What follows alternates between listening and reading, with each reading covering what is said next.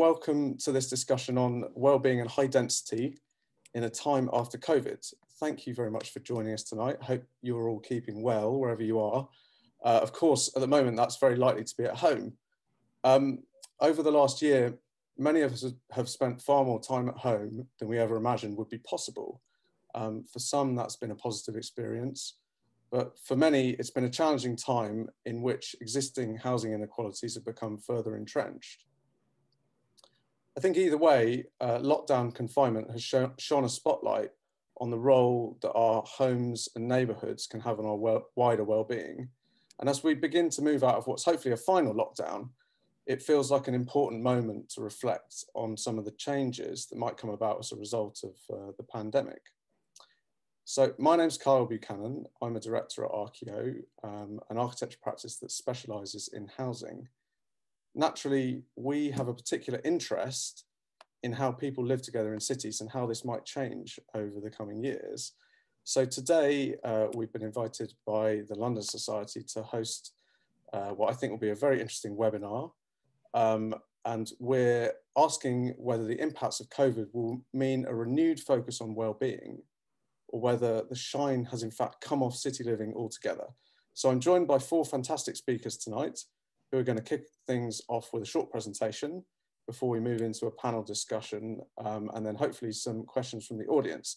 Um, so I've been asked to um, ask you all audience members, if you will use the Q&A function, please, to put your questions in. I will then read those out um, to our panelists and uh, we'll uh, see if we can get an interesting discussion going. So um, I'm just going to introduce our speakers. Starting us off tonight is uh, Natasha Reid. Natasha is uh, the founder of Matterspace Soul, which is a specialist architecture and design lab, shaping places for human well-being. Tonight, she's going to uh, talk to us about the themes in her new manifesto, Urban Empathy, and how, when it comes to well-being, designers should be thinking from the inside out. Um, up next is Felicie Krikler, Felicie is a director at Assael Architects, and alongside being one of the practice's build to rent experts, she's leading several research initiatives, including on designing for well-being. Um, is going to talk to us today about the relationship between density and health, health outcomes in buildings, and she's going to touch on some of Assael's recent projects that tackle those difficult questions. Our third speaker tonight is Jacob Willson, who is an urban designer and head of design at Barking and Dagenham's regeneration company, Be First, who I'm sure many of you know. Um, Jacob is going to talk to us tonight about the impact of COVID on the borough, and he'll be showing us three projects that Be First are delivering that prioritise the health and well-being of residents. And finally this evening, uh, we welcome Daniel Slade, who is a policy and project manager at the Town and Country Planning Association, Daniel's leading the TCPA's work on the Healthy Homes Act campaign, and he's going to tell us all about that this evening. It's a fascinating campaign to um, essentially enshrine well-being in law. So I'm feeling very excited about this. I hope you're all looking forward to what I think is going to be a fantastic discussion. Uh, do stick with us till the end and um, hopefully uh, ask some interesting and challenging questions. Uh, without further ado, I'll hand over to Natasha to kick us off. Great, thanks, Carl. Um, uh, it's good evening, everyone. It's, it's a pleasure to be here tonight. Um, I'm going to just start sharing my screen.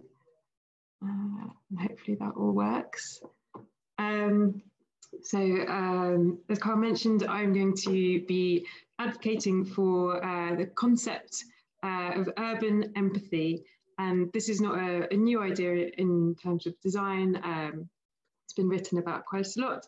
I think in terms of the narratives of development, it's quite a shift. Um, and uh, I think there's no doubt, particularly at the moment, um, that places have such a significant impact on our health, our well-being, and our happiness. Um, but when it comes to actually making the built worlds that are our habitats, the most crucial of questions, which is how a place will affect the people that spend time there, and what will be the impact on their lives, these really fundamental questions are actually rarely, if ever, asked. Um, so the, the concept is a sort of um, high level idea in that we need a radical shift um, to be able to make cities neighborhoods, homes, and places from the inside out, which is looking at how places affect uh, our inner workings uh, as human beings. And I think it's clear that, um, oh, just go to the next slide. Yeah, it's clear that um, as we're, we're, we're going through the pandemic, um, it's uh, we can't really just go back to the way that things were before. Um, there's a sort of longer term shift to be had, I'm sure, um, with the, with sort of health, well-being, and also the effect in terms of socio-economic kind of inequalities uh, has been highlighted so much by the crisis. Um, so in terms of when we're making places, uh, I think health and well-being can't really be an, an add-on. It's it's about really uh, fundamentally shifting the way that we see places. So it can be they can be enablers for life um, and not uh, considered as assets uh, simply. And uh, so this this is a, a review, uh, the Marmot Review, which is a follow-on from a long-range um, study uh, commissioned by the government, looking at how critical our surroundings really can be. So in the original study, it's been reported that people living in the, in the poorest neighborhoods in England uh, will have a lower life expectancy than people living in the richest neighborhoods. Um, so the, the more extensive the housing deprivation, essentially, uh, the more damaging the effect on people's quality of life, health, and life chances. Um, so, so it's really fundamental. Uh, and this is because our environments are um, part of something called the social determinants of health. And uh, in short, these are the non medical factors that shape health outcomes for people. So, uh, and as part of that, neighbourhood uh, and our living environment are quite a critical factor, uh, amongst many other things as well that you can see from this slide. Um, and uh, the, the, what we've seen as well with the pandemic um, is that when people are in a position of disadvantage, um, this compounds to affect many different factors uh, in our lives. So, for example, poor quality housing uh, can affect uh, a child's ability to, to concentrate, whether they're at school or at home. Uh, it can impact in terms of stress um, and their kind of uh, eventually over their life, their life chances affecting uh, job prospects. Um, and and it becomes a, it's a sort of cyclical um, problem with hardship increasing the others, uh, making people, and people sort of worse and worse off. So I think when we're, we're talking about um, health and well-being, there's there's different um, depths and levels that we can go to, and uh, potentially as as um, designers and the built environment industry can really look at these uh, more kind of pressing issues, uh, even though they are complex. But uh, I think it's it's the time to start uh, thinking how these things can come together. Um, so the the the idea for for urban more urban empathy uh, is about how how we can look at not only just using uh, urban space in our environments differently, but actually to reimagine that basis of how we we uh, think about making places and uh, going from the perspective of what they can do for people. So here uh, I've, I've, shown two examples of different um, perspectives uh, to do with well-being. So one is um, the from the Well Building Institute, um, how places affect us um, through through a couple of different factors that we've got here, and uh, in terms of mental health, in terms of uh, sort of uh, providing natural light, um, fresh air, good quality water. And then on the left here is, is a different type of um, uh, way of considering how places affect people. And this is um, from Buro Happold and looking at flourishing. So the, definition of how um, we uh, sort of quality of life in terms of mental health in particular. And there's many, there's a couple of different frameworks uh, that all look at uh, our quality of life in different ways.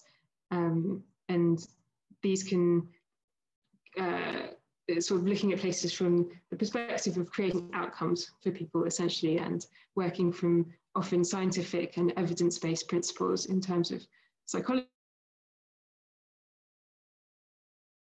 uh, and so on.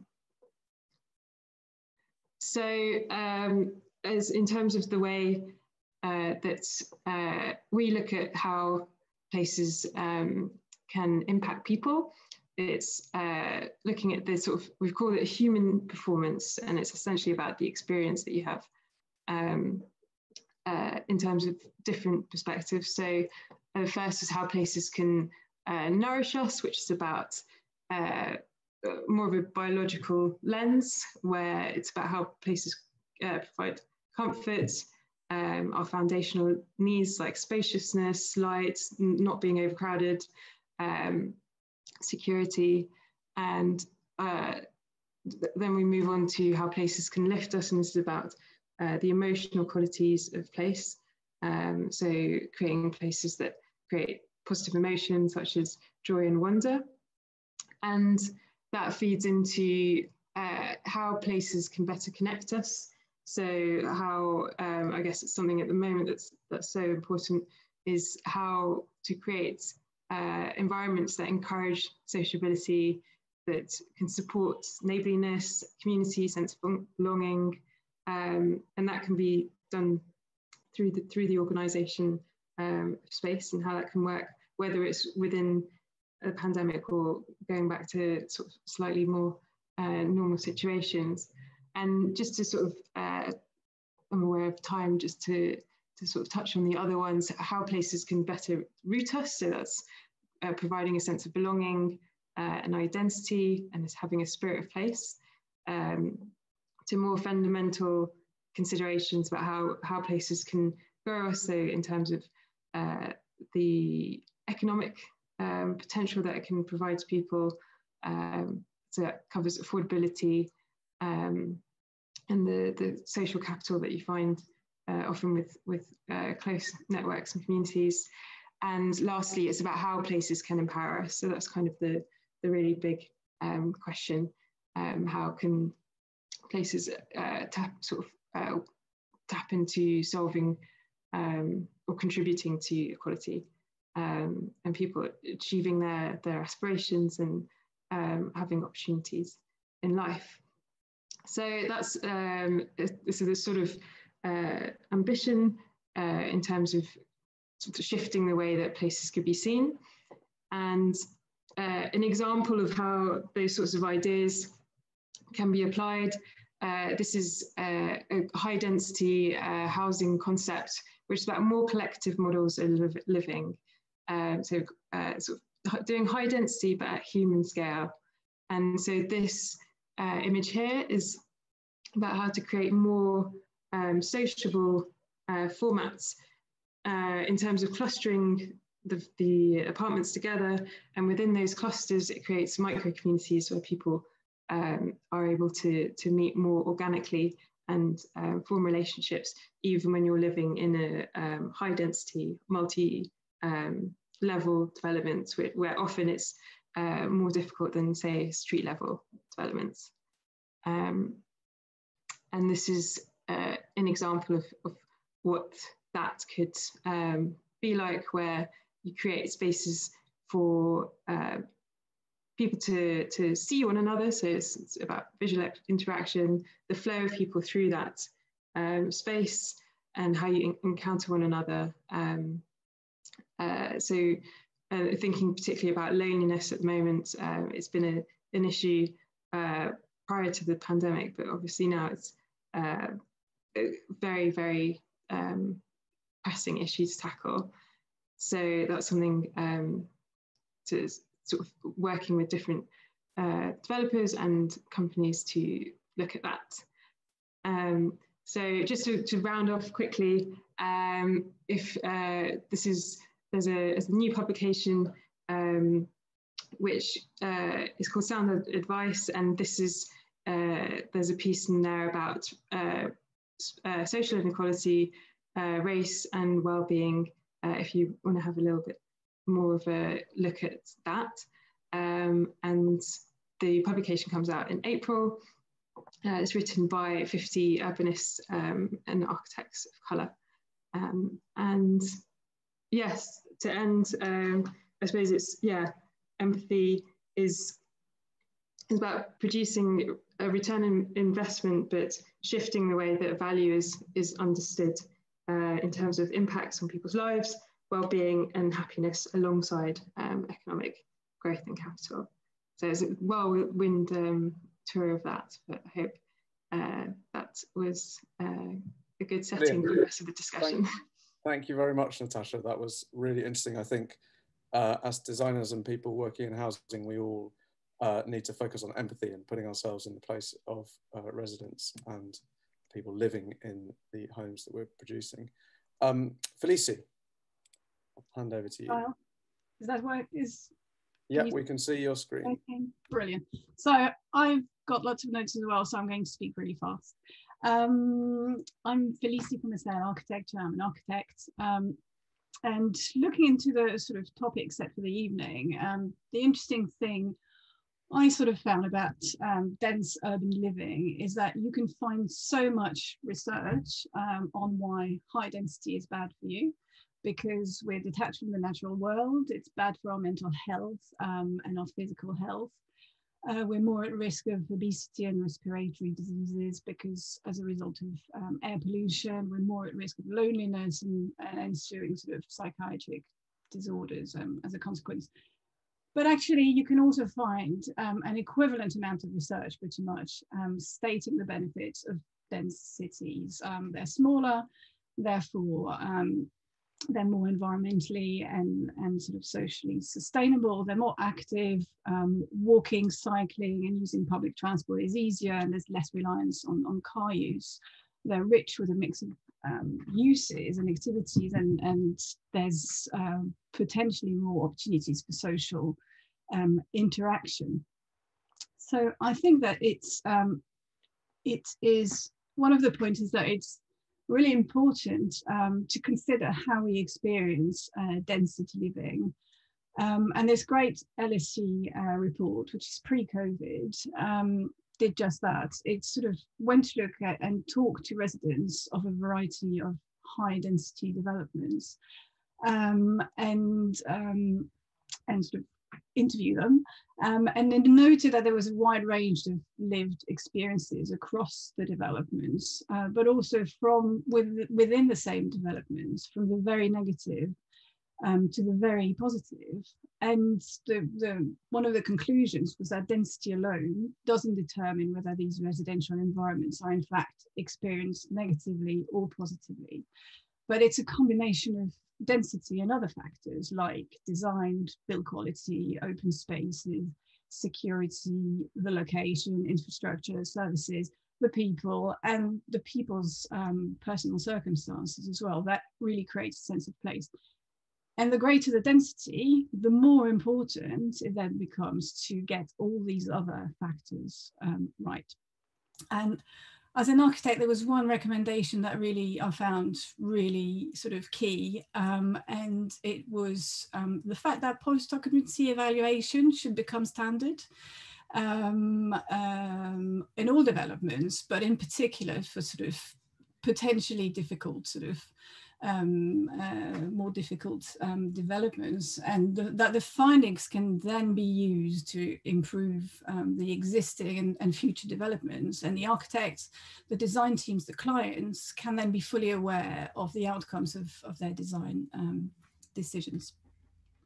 So our experience of city living, our experiences of city living are varied um, and a lot of it is based on our personal circumstances. And if we now look at COVID, um, it really it doesn't come, off, come as a surprise that COVID has not been experienced equally, um, with, as Natasha was saying, much higher risk um, for people living in deprived areas. And data suggest, interestingly, that density isn't a major factor in increasing infection risk, but it's overcrowding that's the real issue. So I think we sort of have a responsibility before we even talk about well-being um, that we probably need to address the issue of basic needs of decent housing for all. Um, poor quality housing, overcrowding, lack of housing, and poor health are all interconnected and they really need to be at the top um, of, of the post-COVID um, um, um, agenda. Um, and I mean, the links between housing and health um, uh, are, are, not new, and I'm sure Daniel will talk about it later. But you know, if we go back to the mid 19th century, the Public Health Act of 1848 was one of the first steps to improve public health uh, in order to improve living conditions for, for the uh, working classes, but um, to reduce preventable diseases in, in urbanizing Britain. And Henry Roberts um, published the um, his uh, one of his books, The Essentials of a Healthy Dwelling, and in 1862. And if if you haven't read it, I would um, I would um, recommend to do so because it's actually really current in many ways and and uh, and incredibly modern in the sort of um, healthy design principles that that it sets out. So I think as we come out slowly of, of the crisis, there's there's probably two paths. The first one is where we immunize everyone so they can continue to live in unhealthy homes and there's the second one where we immunize everyone, uh, but we also take the time to reflect on how the crisis has affected the wider population and, and how a more radical change can come out. Um, so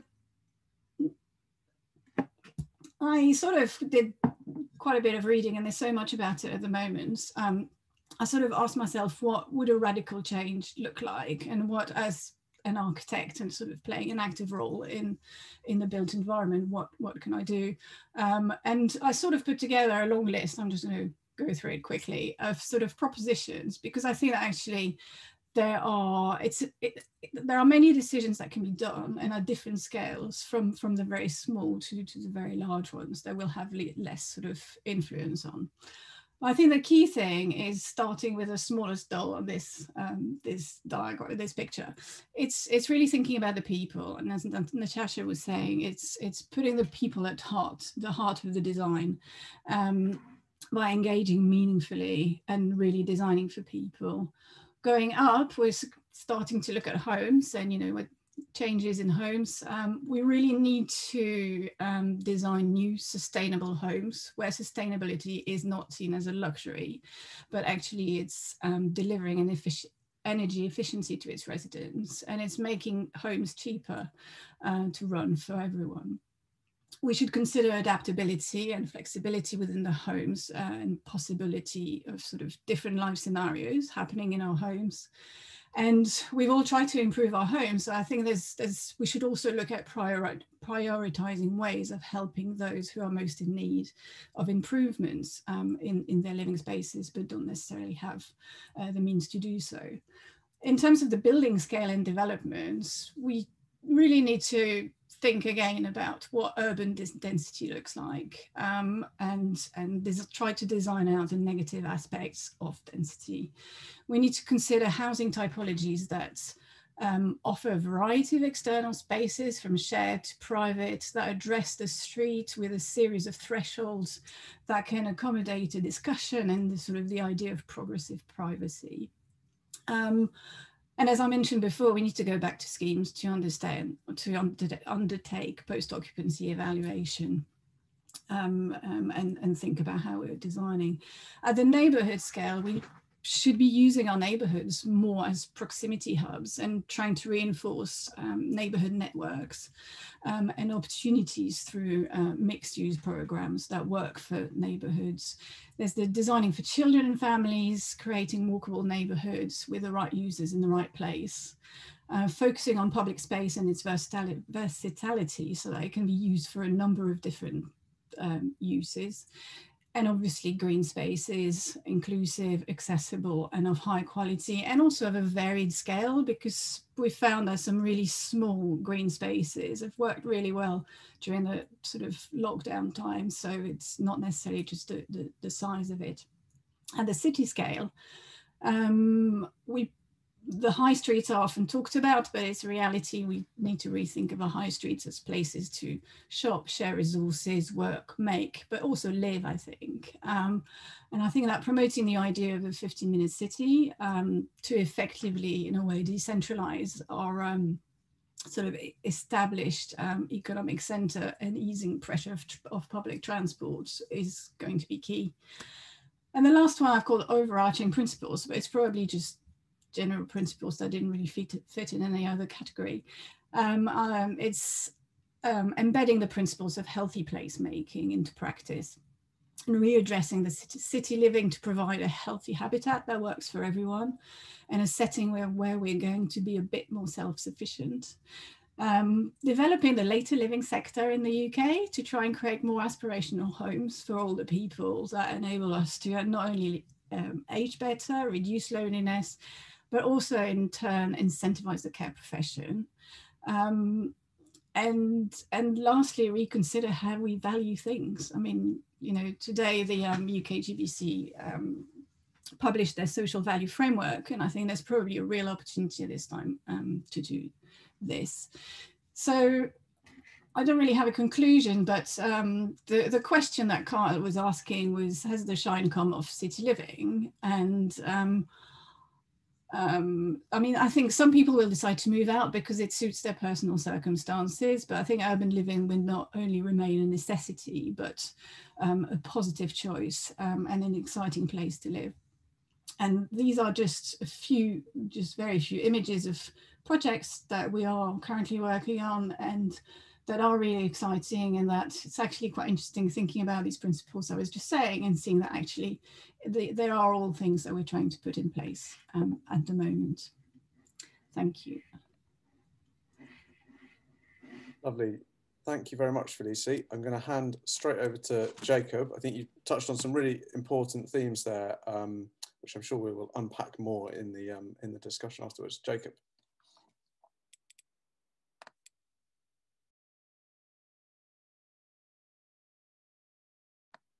Oh, I think you're still on mute, Jacob. I don't know. If, Sorry, apologies, Kyle. Um, can you see my screen okay? Yep, that's great. Thank you. Okay, thank you. Thanks to London Society and Archio for putting on this uh, event this evening and asking me uh, to talk. Um, I'm Jacob Willson, Head of Design at Be First. And for those that don't know Be First, uh, we're a development company and planning service wholly owned by Barking and Dagenham Council and work exclusively uh, within the borough.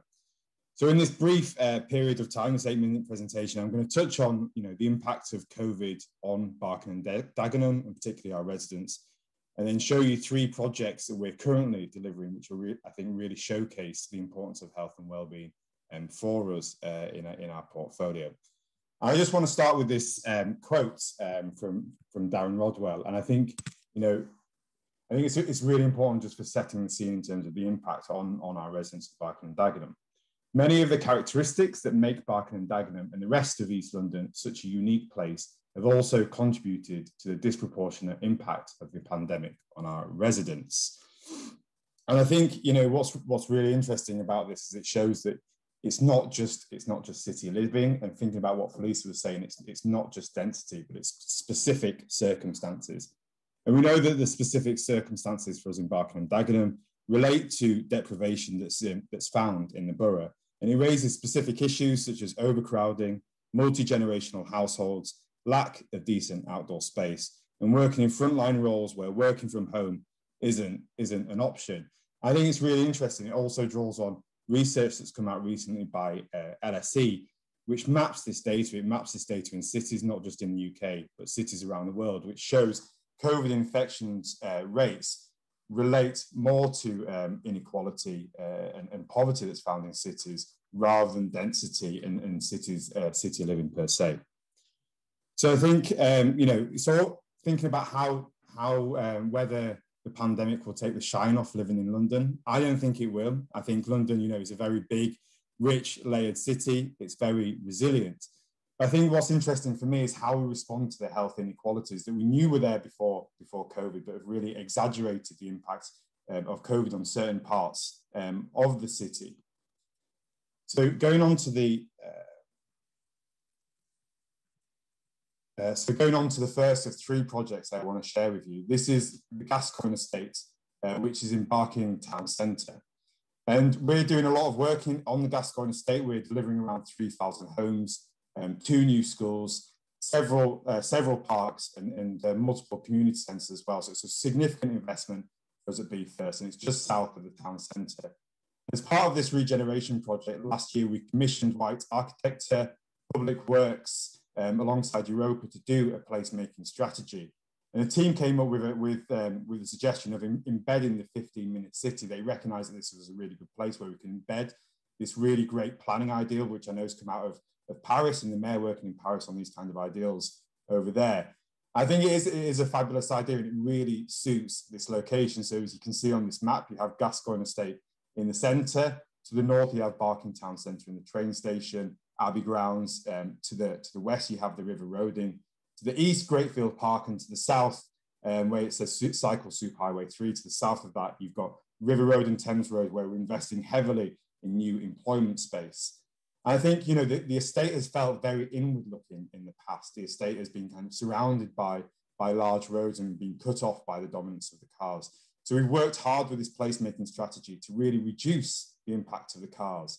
So to think about how we can downgrade the roads, improve the crossing, and create new green routes and really prioritize pedestrian and cycle movement, both through the estate, but and um, connecting to the wider area. I think the other key thing about this, this um, the placemaking strategy is delivering fantastic new green parks. So part of the identity of the Gascoigne estate, which our residents told us in the past was it had these you know, dispersed um, public spaces, so very small public spaces which were dispersed around um, the estate a lot of our residents felt a sense of crime um, in the areas or a fear of crime in these areas. So what we've done is created much larger spaces and they're aimed at multiple generations, multiple users. So we create a buzz a buzz and a, a sense of excitement in these public um, in these public spaces.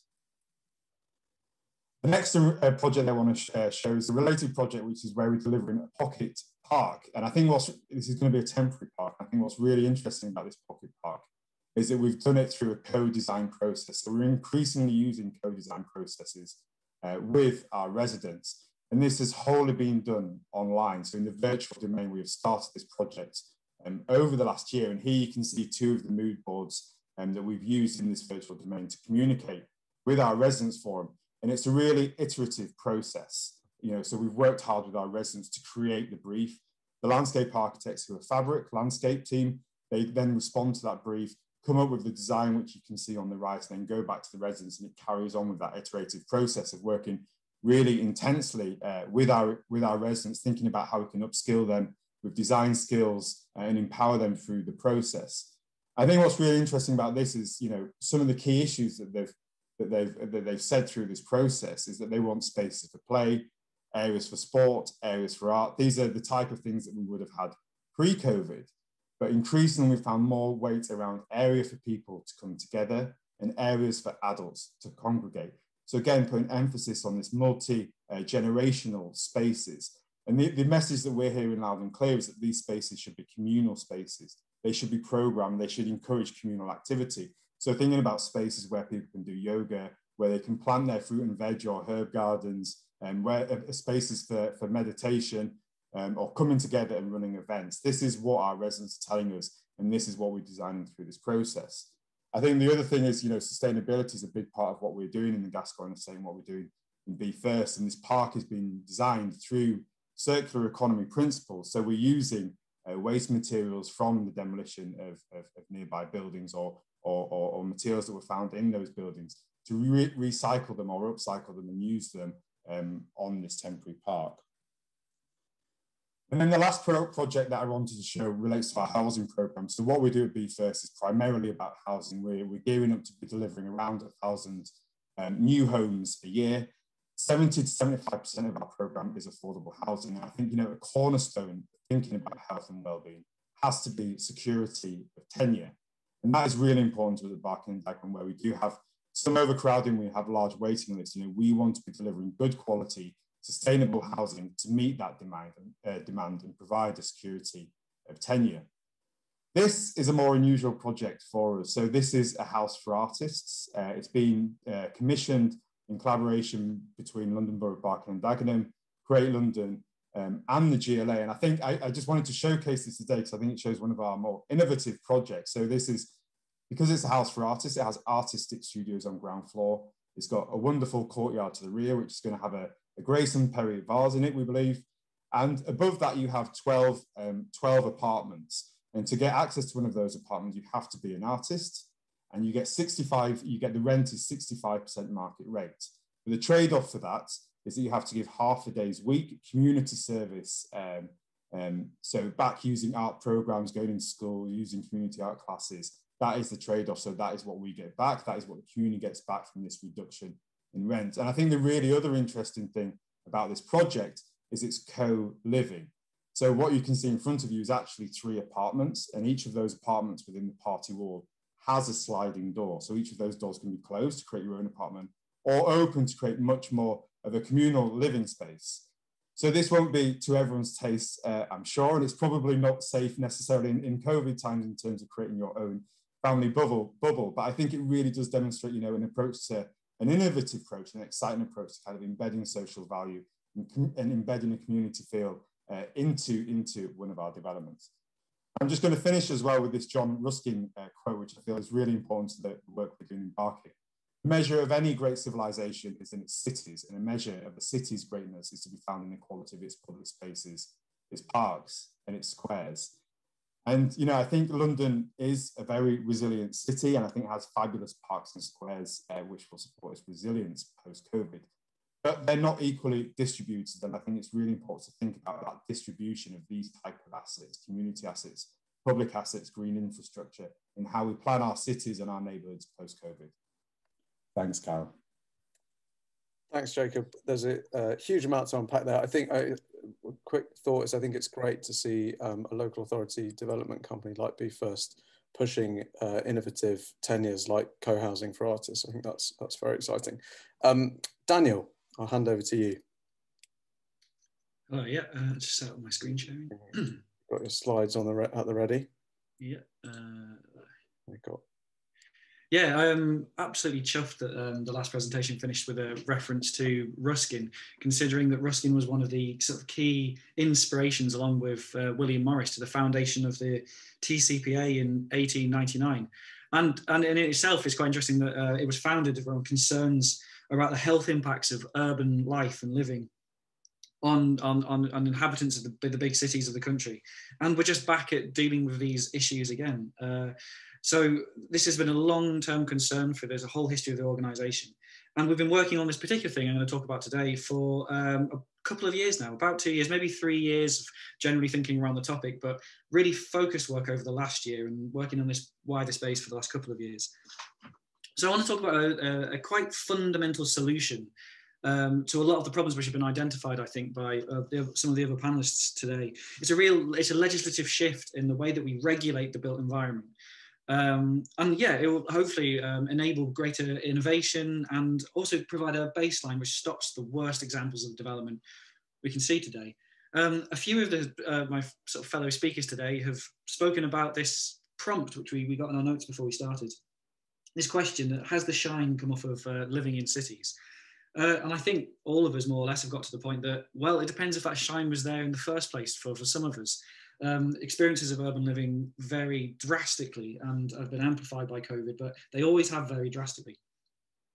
Uh, but I think it's important to situate that into a kind of policy context of where we are at the moment, where we are, where we are at the moment in terms of um, the the tools we've got, our ability to try and make um, urban living as as positive as possible, and then where we're trying to get to and what we need to get there. So I'm going to begin with a slide I often use when I'm speaking, especially with parliamentarians about this, this, the Healthy Homes, um, the Healthy Homes Bill, which I'll describe in more detail in a minute.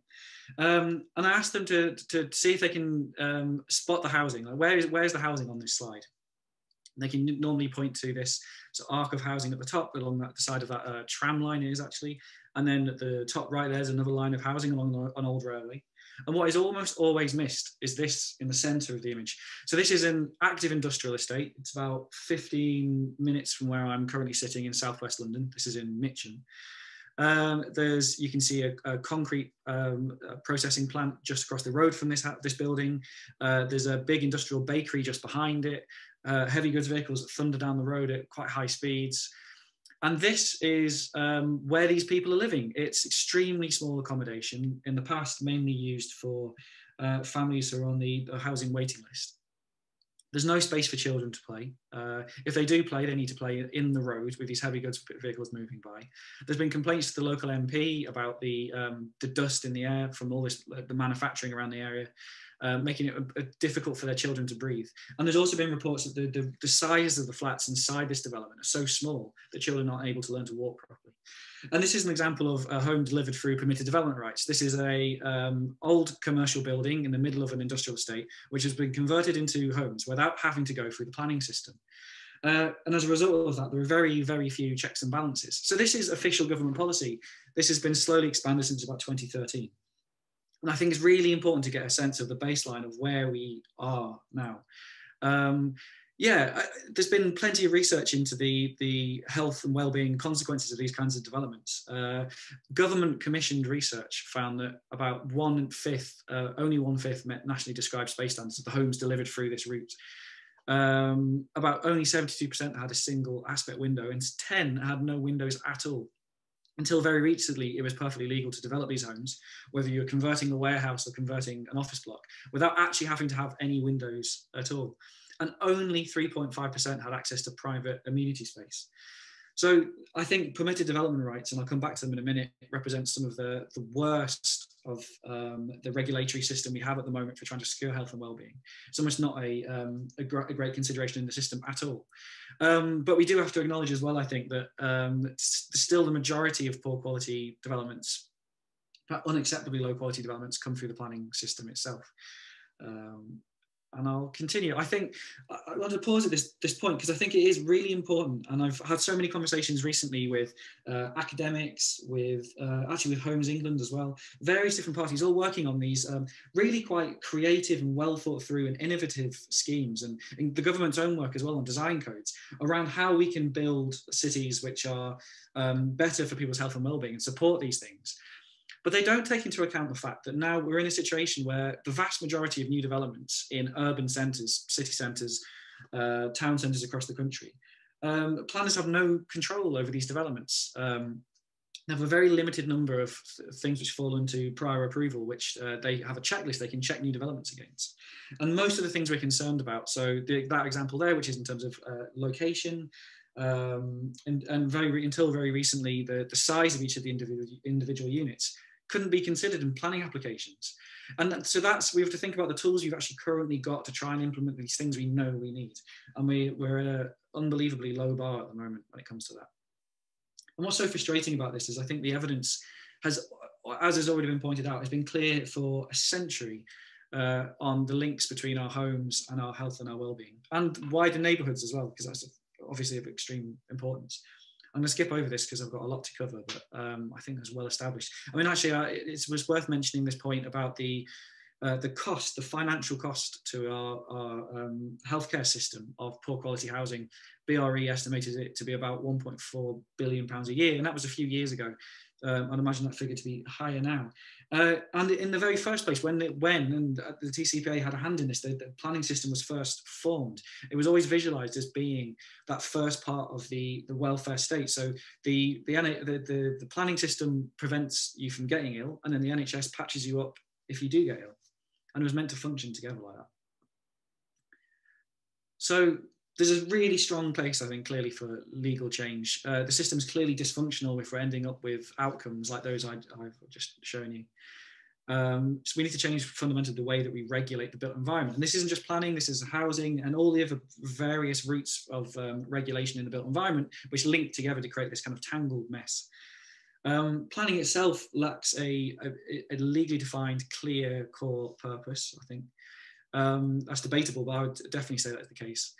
Uh, the responsibility for the built environment is split, as I just mentioned, between all these different regimes. So I'm sure those of us in the audience who work in architecture or urban development will have entered into conversations where someone says, oh no, that's not a planning issue, that's a housing issue, or that's not a housing issue, that falls into uh, health and safety. And it's all uh, artificially fragmented when it comes down to just um, the quality of the built environment, people's actually lived experiences. Um, I think it's also really important to mention, and I think this is something which many of the public would assume isn't the case, is that there are no legally enforceable minimum standards on aspects of building design and the urban environment, which we know are fundamentally important to people's health and well-being. So this is things like access to green space, uh, amenity space, uh, a walkable public realm. All these things we know are so sort of fundamentally biologically important to people, and yet there's no guarantees around them.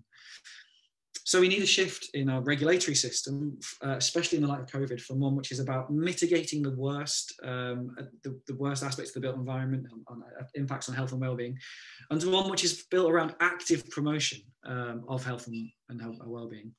And in a sense, I think um, the challenge we, we always receive is that, oh, this is impossible as much as this, this, is, this sounds like um, laudable claims uh, it's it, it's it's just not doable to regulate in such a holistic way. And I don't think that's true. Um, the Parker Morris standards existed for decades and had a really fundamental role in shaping council the creation of council homes, which still to this day have really high standards in terms of natural light and access to greenery. And they were holistic standards, which weren't just about the fabric of buildings. So how does this um, piece of legislation we developed uh, and I should say in collaboration with a whole range of different groups. How does this piece of legislation actually work? Well, I think to counter for it very quickly, and I'm happy to answer questions on this later, there are three pillars to the bill, split between each of these um, parts and clauses you can see in the, the, table of contents.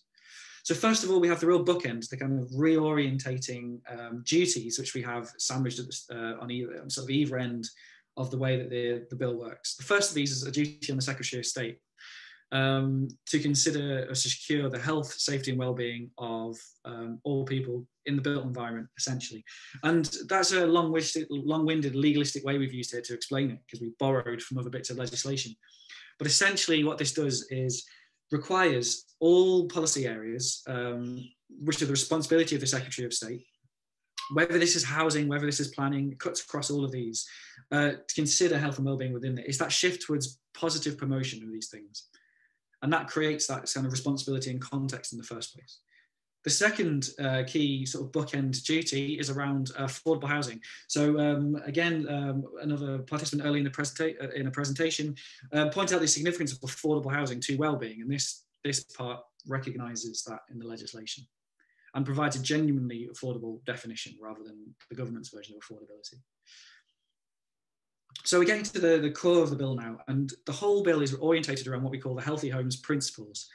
So these do not define particular standards in terms of uh, quantified levels of light or floor space or this kind of thing, but there are a series of principles which define what constitutes a healthy home. Very quite high, quite broadly speaking. We think of them as the absolute basic sort of biological need of human beings full stop in terms of where they live. Uh, we also based our decisions around what were included partly on the expert advice, but also on what we felt the, the, the, general public would assume had been accounted for somewhere out there in these this tangled mass of legislation and policy and law, which just fundamentally isn't accounted for in many ways. And those, those guarantees don't exist.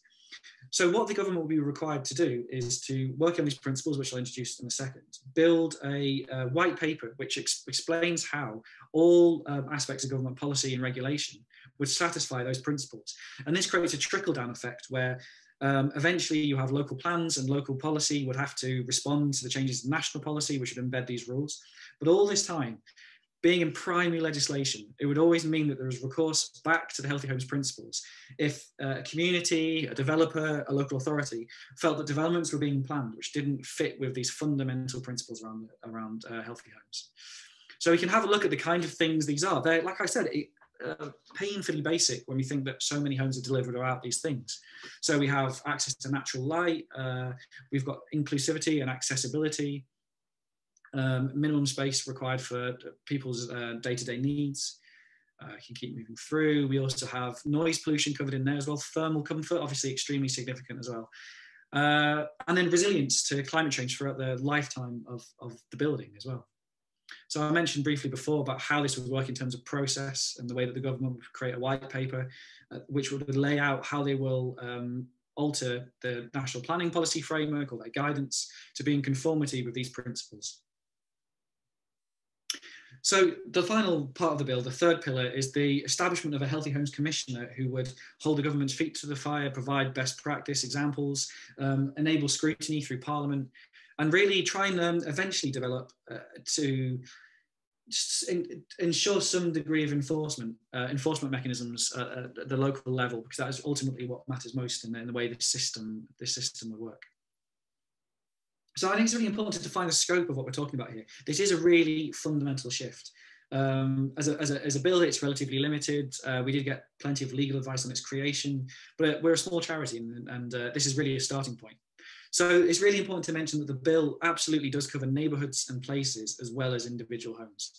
Uh, we hear a common uh, line of defence from the government is that building standards might um, cover everything you need to cover when it comes to health and well-being, but obviously they don't cover things like access to green space or walkable neighbourhoods.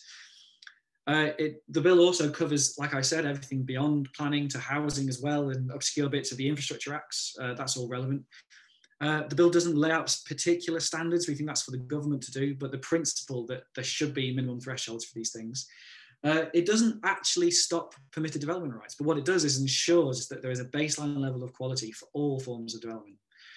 It also doesn't. Um, it, it, it, also uh, doesn't uh, actually touch existing homes. We we would love to develop a way um, that legally that might be workable, but we had to define our scope quite neatly. I think for this project so far, it would still affect thousands of lives and new homes built, but it wouldn't affect uh, existing homes. Um, I think it's also important to mention that uh, it would effectively outlaw new homes and neighbourhoods which fail to meet the principles. So it's quite a powerful piece of legislation. Uh, and then I think I'm going to end on the point on this slide that it, the bill concerns health. Health is the organising concept, but I think really it's about much more than that. It's about the way we think about the urban environment and people's place in it. Uh, and it's essentially about social justice. Health is a very useful organising concept and it cuts across the political spectrum and it's something we all value, but really I think this is about social justice. So the bill's not perfect, but it is a really solid, I think, foundation for action. And then uh, uh really almost, almost at the very end now, I think there are five really arguments from the government's perspective about why this is a, is a useful tool. And I can talk later if people are interested in how we're actually practically going to try and get this into law. But in terms of the content of the bill, I think there's incredibly strong ethical arguments for this kind of change. You saw just from um, the, my pictures I shared at the beginning of this presentation, um, the kind of new homes which are currently being built, uh, with the expansion of permitted development rights so that it covers any conversion uh, from commercial into residential, the extension of, of, existing residential buildings by two stories, and the demolition of re and rebuild of commercial properties. This is just going to become more of an issue. I think there's a regulatory argument for all of those who, of us who work in the built environment, and I know there's a few people attending who do. Um, it's it's even for us, the regulatory systems we have to deal with are incredibly complex. Uh, having that strength but consistency across regimes in the form of a clear set of principles which cut across all of them um, would provide simplicity as well as strength. Uh, there's a there's a governance argument, which is that policy making, which is so often split between central government departments, would, would have to have a degree of uh, conformity across them and break down siloed working. And then I think skipping over the public health um, financial argument, which I mentioned at the start of my slide, there's a real political argument, which is about the government's planning reforms and uh, the clear concerns which so many um, constituents and members of the public have about that and, and surging those concerns. Um, and then finally, the, we one of the key challenges we, we get with this um, with this work is that it's just not possible because it might um, it, it, because of from an economic point of view, it's just how the market operates and people operate um, on the basis of their free choice in the market and these kind of things. Well, I think quite fundamentally, we've we base these principles around the basic needs that human beings have to live happily. And if these kind of things can't easily be met, I think it's about changing the way the system works. Uh, I think that's something other speakers touched on before me in this presentation and their presentations. So yeah, I'll leave it there. Thanks a lot. Thanks so much, Daniel. I think um, we uh, there's something that we have all realised tonight that this is a huge topic, and actually I think we could um, all uh, go on talking about this for some time. Um, we are uh, running a bit behind time, um, but there is still time. So I'm going to um, invite all of our panelists and speakers to um, turn on to rejoin the Zoom room. Um, and we've already got loads of questions um, flooding in. I think I'm going to kind of, uh, I think there's, there's so much to unpack around this subject. I think um, th this question of, you know, Daniel, uh, as you said, um, has, has the shine come off city living? Well, was it ever there in the first place? I think that's exactly the right way to be thinking about this. The, the experience of living in cities is already very variable. I think that's something that COVID has really highlighted. I think you know some of the statistics and the um, evidence that you're providing as part of your campaign and that others have touched on is is is really quite heartbreaking. Um, and I think, you know, and a lot of what's being suggested here feels like um, common sense. It, it's quite astonishing that until only two months ago, you could build a bedroom in the UK without access to natural light and ventilation. Um, to, uh, is this a is this a monitoring problem? I think is the first question I'm going to ask. Mm. Are we are we it, is well-being almost too loose a term? Are we are we measuring well-being in the right way? Do we think? And I, I think that's a question for either Daniel or Natasha or both of you. Hmm. It's a really interesting question. I think um, I think we can go even back further than that. So we've got monitoring and understanding um, the built environment as it is, but then I think there's something even before that, which is speaking with uh, decision makers and policy makers about awareness, just fundamental awareness that people live in these conditions. Because I don't think that's there in, in, in a really, um, even down to the level of empathy and uh, the way that the development system at the moment works. I think that's I think that's the starting point. I think it, it's it's so frustrating to have so many conversations, as I alluded to in my presentation, with um, really well-meaning people who are trying to create solutions for how we can improve the built environment and I don't think they realise quite how how far we've got to go. Mm. Current base level is with with policymakers. I think I think that's it, isn't it? I mean, Natasha, do you, do you think there are particular metrics that we should be focusing on as designers? Um, certainly, there's there's there's sort of um, uh, social value is already a, a metric. Um, social return on investment um, is something that gets used, but I think having um, more metrics and more um, frameworks that could be implemented is something that's really, really needed just to make it really uh, accessible, I suppose, to everyone to, to know um, how you can do that. So I think there's there's lots of different frameworks, um, but there's no kind of holistic one. I think. If, if, you, and this, pro- this probably is a huge oversimplification, but if you had to pick one that is the most important, um, or one area that you think is the most important in terms of having immediate impact on well-being would there be one that jumps out? Um, well i suppose in in terms of um, what's happening at the moment with um, the pandemic um, i think uh, sort of sociability and social value and connectedness and those themes are uh, kind of immediate ones but um, yeah, it's it's hard to sort of say what's what's the most important part of well-being. To, I yeah. think. Yeah.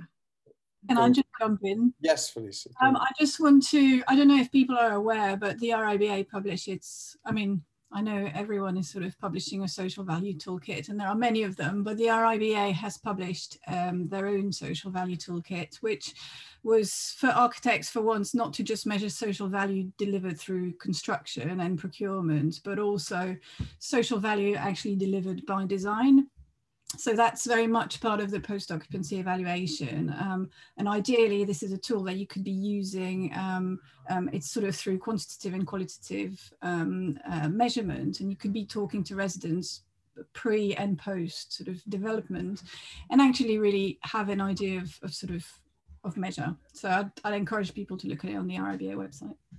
I think that um, that post occupancy evaluation point is a really critical one. Um, I just want to tackle some of the questions in the Q and A.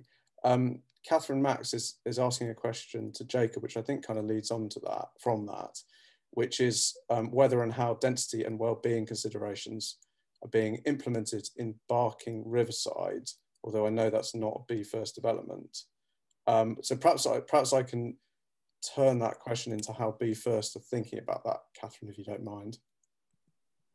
Yeah, that's um, that's that's right, Kyle. Uh, Barking Riverside isn't isn't necessarily uh, our patch in terms of our delivery patch, although we are covering the planning function um, for it. But I think, you know, more generally, how we're feeling about health and well-being and, uh, and priorities. You know, there are key issues that we have. You know, there's some simple metrics around air pollution, um, access to parks, access to community facilities, and these are the things that residents are telling us is, is really important and that we need to start um, addressing. I think increasingly we're looking at place shaping strategies. You know, we, have got such a large um, program of new build, and we don't just want to be focusing um, on the numbers. So we are building an internal design team at the moment, which is increasingly going to look at place shaping and really kind of focus on these neighborhood um, issues such as improving, improving access to, to walking routes, to green space, encourage cycling, um, integrate art strategies, wayfinding, etc., etc., and really think about um, neighborliness uh, through those through those strategies. And I think I think that sense of community is a key tenant in um, in developing uh, well-being for communities and for residents. Um, we've we've got about five minutes left, and there are loads of questions, so we might um, do something where we try and answer some of them um, in a blog post or something afterwards. But um, I just want to just want to pick up on um, this word density and talk about that a bit because I think you know one of the things that um, comes out of trying to understand the impact, or the, let's say the relationship between the impact of COVID and um, and density is that actually density is a, is a difficult term. And actually, I think in that particular context, overcrowding seems to be a much bigger issue. And there's a couple of questions about that in uh, the Q&A. So there's one from Bromley Civic Society, um, which is saying whether, whether um, we think there's a limit on the, there should be a limit on the height of residential buildings that can be successful. So um, would a 17 story block of flats be okay? And again, um, Catherine is, is uh, Max is uh, perhaps asking us um, uh, whether we can suggest alternative terms to density. And I think for, uh, I might pass this to Félicie because I think you were suggest you were um, touching on some of these points when you were talking about the relationship between high density and good design. And I think that's a fundamental point here. So perhaps we can just talk about that for a few minutes. We, we could have a whole talk on what is we density. could have a whole talk on that. and we haven't even started defining density because surely it must be in comparison to something else. Uh, because we know, we all know density isn't about tall buildings necessarily. Um, it's, it's, I don't know, the other term, I don't know, it's, it's urban life, I guess, because even density, you know, you can look at London and actually London is not a dense city by you know any means in sort of com comparison terms with other European cities, for example. And um, so, I mean, I think one of the statistics that I found really compelling in relation to COVID was that actually denser areas had often suffered less. Yeah. Uh, sorry, had suffered less, so were better off than lower density areas, which was partly, I think, ascribed to access to healthcare. Yes. So I think, in a way, although density might, or high density, let's say, so I don't know if you want to have a go at defining that, but let's uh, let's say above 120 homes per hectare. I think what will be interesting is with the new London plan coming out on the 2nd of March, and yeah. you know, it's they're not. I mean, it's talking about height there, and anything above six stories is considered a tall building, and I think that that might, I don't know the details, but that might have an impact on, on how sort of local authorities consider schemes.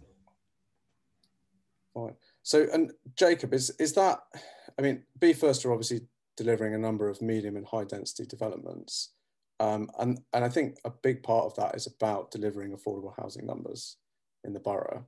Um, do you want to just talk a bit more about the, um, perhaps this thing about the spaces around buildings and how um, they can be, how that's central to your approach and how that can be used to foster community. Yeah, I think I think Félicie's point about you know density isn't necessarily uh, related to high COVID infections, and you know London not being particularly dense compared to international comparisons is really important. I think you can look at a lot of um, cities uh, in the Far East, you know, that haven't suffered as badly as London, um, but are a lot more dense. So I think that is really interesting comparison. And like I said uh, when I was talking earlier, you know, LSE are doing a lot of interesting research on this area and mapping um, mapping density over COVID infections in different cities, which I think is some really interesting visualizations. Mm.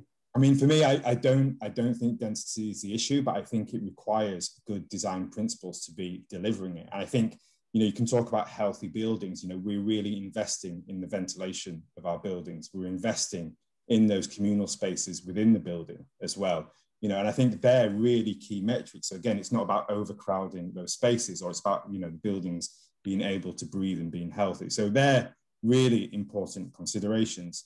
And then I think it comes back to a lot of things about what I was saying, you know, access, um, access to public space. And I think, you know, in central London or you know, in, in, in inner London areas where you've got the fantastic royal parks, you know, they're a real lifesaver. I live fairly close to um, Victoria Park in Tower Hamlets, you know, and throughout the COVID um, period and throughout lockdown, that has been a real lifesaver, you know, and um, especially with, with, with two young kids. Um, and I think that's what we're really thinking, you know, we're pushing medium and high density in our developments because delivering that affordable housing for the borough is really important.